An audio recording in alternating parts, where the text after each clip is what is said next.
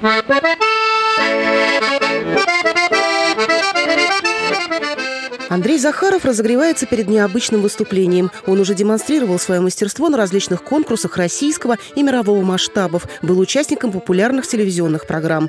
Но сегодня его концертным залом стал салон троллейбуса. Свою программу он подготовил для женщин-пассажиров. На аккордеоне музыкант играет с 7 лет. Говорит, что для него это особенный инструмент, на котором можно исполнить как русские народные песни, так и французские романтичные мелодии и современные хиты. Красота, звучание.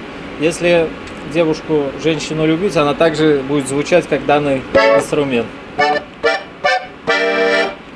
Послушать игру Андрея смогли пассажиры троллейбуса четвертого маршрута. Они стали участниками праздничной акции Самарского муниципального предприятия ТТУ. Каждой женщине вручили по букету тюльпанов. Дамы признаются, после таких поездок в общественном транспорте с неожиданными приятными сюрпризами настроение сразу улучшается. Такого вообще-то, знаете, я не ожидала. Да никто этого не ожидал. Это просто изумительно, то, что ребята великолепно играют.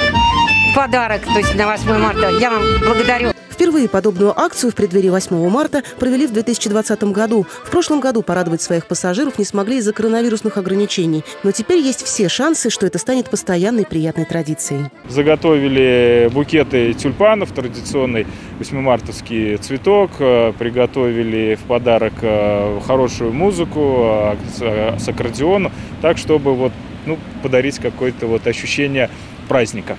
Для акции выбрали самый длинный троллейбусный маршрут. Четверка соединяет район Металлурга с железнодорожным вокзалом. Праздничный концерт проводит в новой машине «Адмирал». Город в прошлом году получил 22 современных троллейбуса в рамках нацпроекта «Безопасные качественные дороги». Это первый транспорт в Самаре, где э, граждане могут ехать с кондиционером в жаркое летнее время.